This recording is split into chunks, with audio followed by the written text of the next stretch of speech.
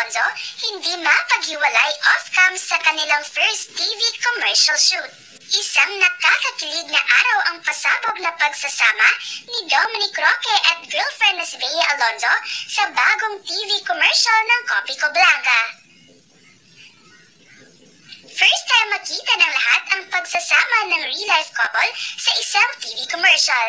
Kaya naman extra special ito sa dalawa bilang ito ang kanilang first endorsement ever. Sa Facebook page ni Bea ay binahagi nito ang ilang behind the scenes sa nasabing commercial na nagmukhang prenup shoot. Makikita na hindi mapaghiwalay at very clingy sa isa't isa ang dalawa. Umaasa si Bea na sana hindi ito ang una at huling endorsement nila ni Dominic na magkasama. Matatanda ang matagal na endorser ng Copico Blanca si Dominic Roque, kaya another blessing ito para kay Bea na makasama sa ilang mga endorsers ng Copico Blanca.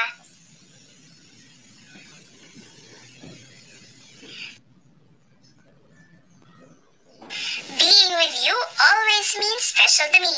Pero iba pa rin pala ang feeling na makatrabaho at makasama ka on-screen for the first time in this TVC. I'm so happy this Copico Blanca ad is finally out. It's my first time to do a TVC with Dom.